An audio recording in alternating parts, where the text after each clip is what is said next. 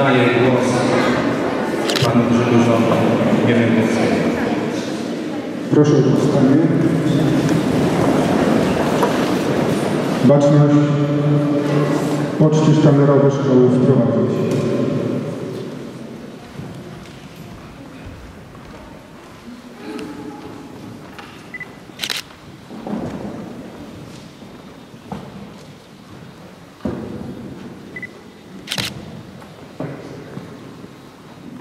Do hymnu.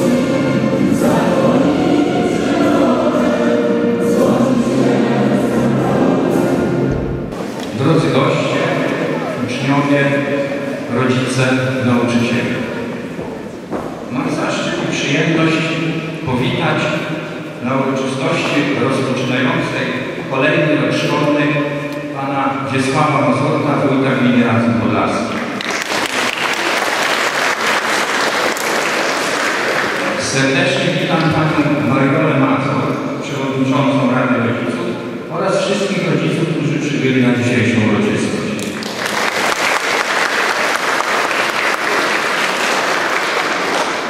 Szczególnie serdeczne i gorące słowa powitania kieruję do Was, kochane dzieci i droga młodzieży.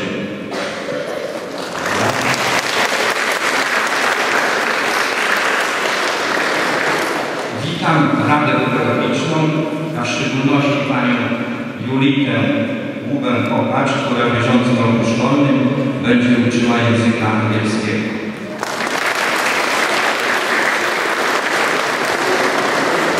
Serdecznie witam wszystkich pracowników niepedagogicznych oraz administratora lokalnej strony internetowej.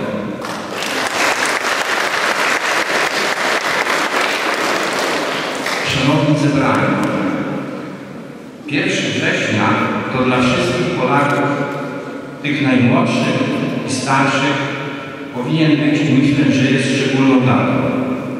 I chociaż kolejna rocznica wybuchu II wojny światowej minęła kilka dni temu, to jednak przez szacunek dla jej ofiar winniśmy uczcić pamięć milionów Polaków, którym odebrano życie w trakcie sześciu tragicznych lat okupacji, by dzisiaj żyć, uczyć się i pracować w normalnych warunkach.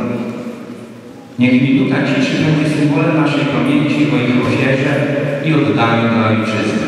Proszę o powstanie.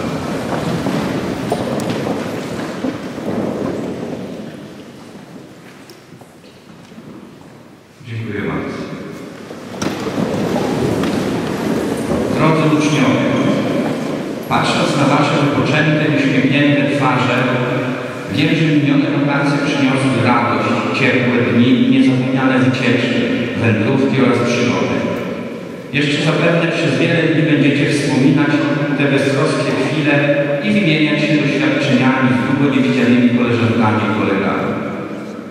Dla mnie początek roku szkolnego to niezwykle ważny moment. Zarówno Wy, uczniowie, jak i my, nauczyciele, przychodzimy tutaj z sercami pełnymi nadziei. Każdy dzień nauki to odkrywanie Waszych pasji, potencjałów oraz ciekawości świata, która w Was drzemie. Chcemy, aby godziny spędzone w klasach tej szkoły były dla Was przepustką do jak najlepszej przyszłości i przygotowaniem do spełnienia Waszych marzeń.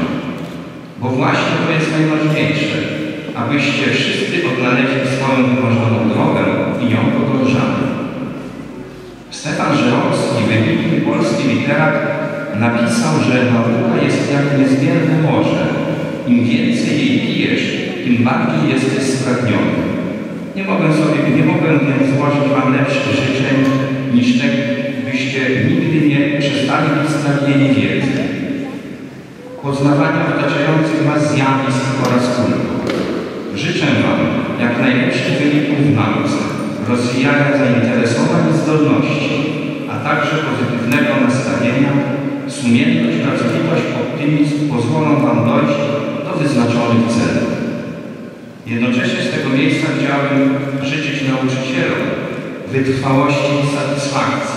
Stanowicie przykład dla uczniów.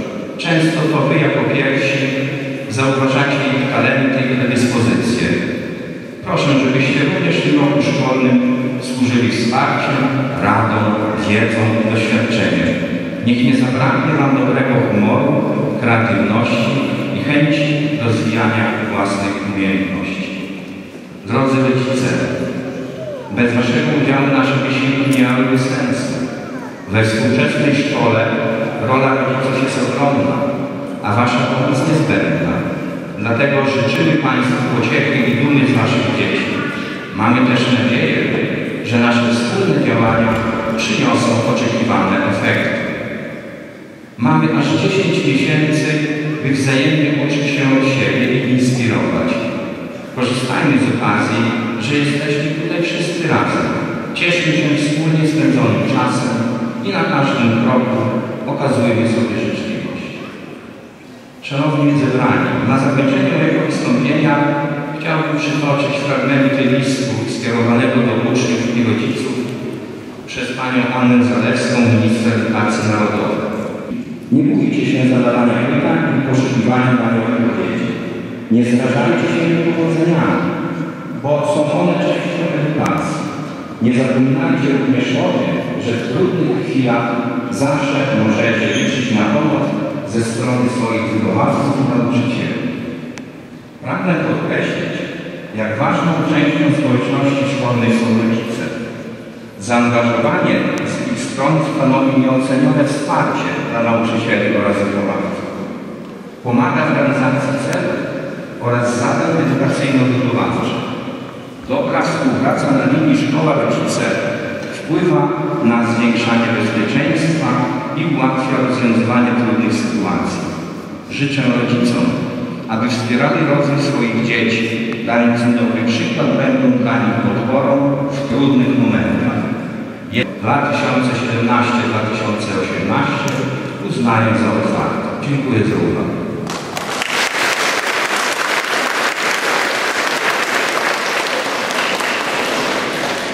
A teraz poproszę Pana Wójta o zabranie.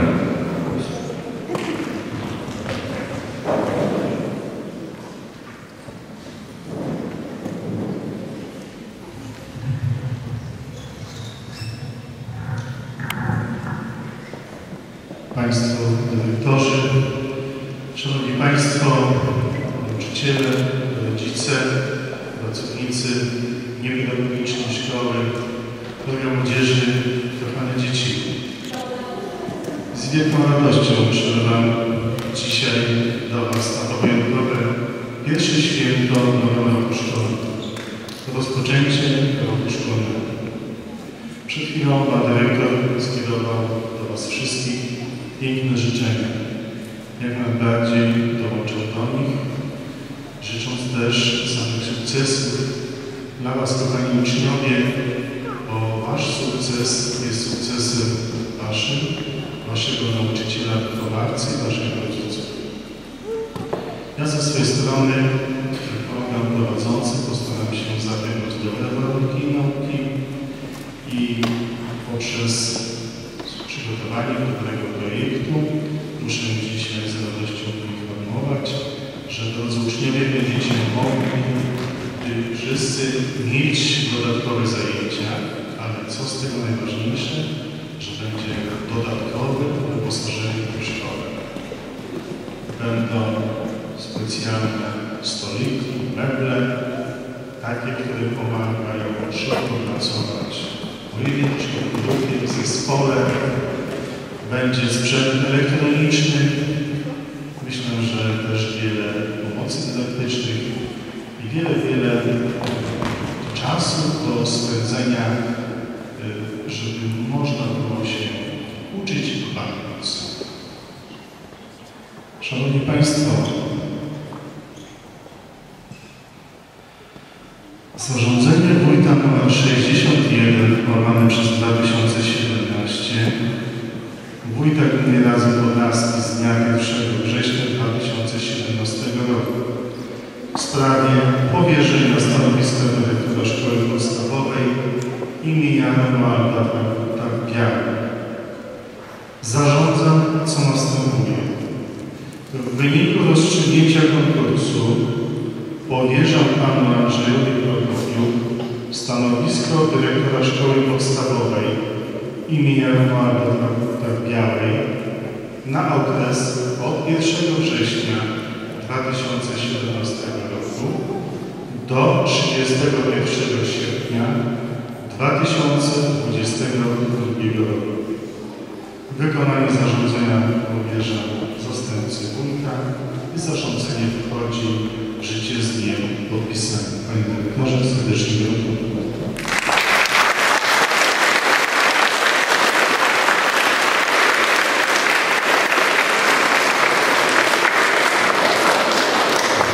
Oczywiście życzymy mocnej kadencji.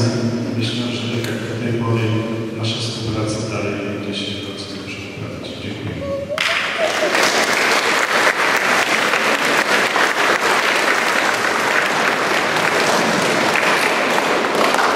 Proszę o powstanie. Baczność łączne sztandarowe szkoły wyprowadzić. Serdecznie dziękuję Panu Wójtowi za przekazane życzenia, za słowo zabrane. I jeszcze kilka słów na temat organizacji.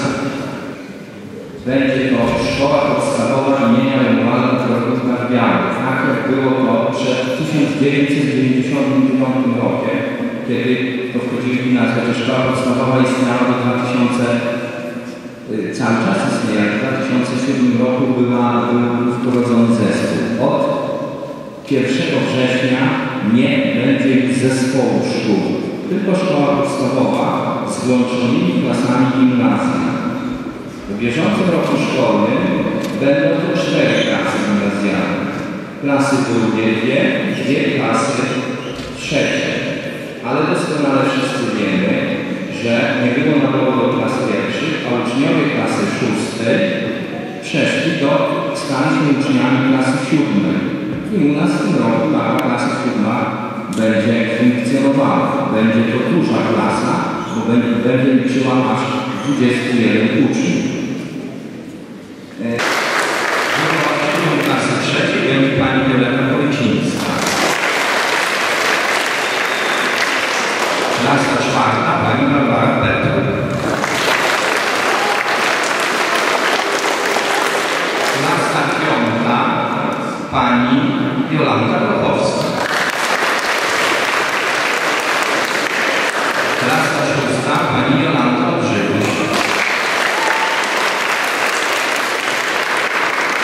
Klasa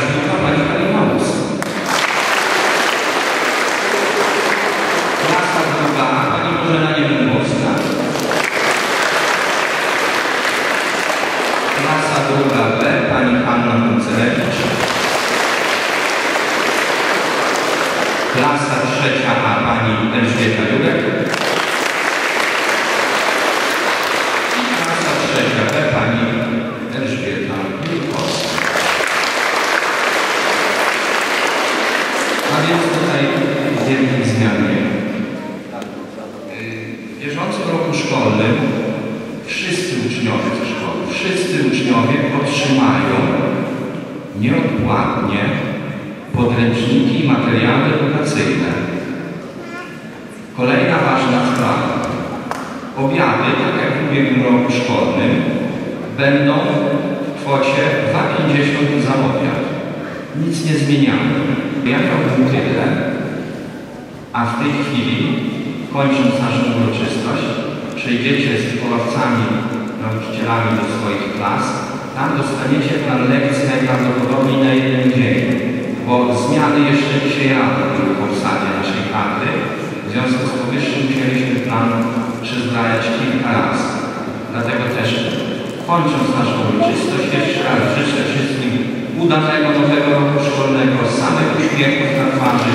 Nie, jeżeli będą jakieś niepowodzenia, to sobie na pewno poradzimy.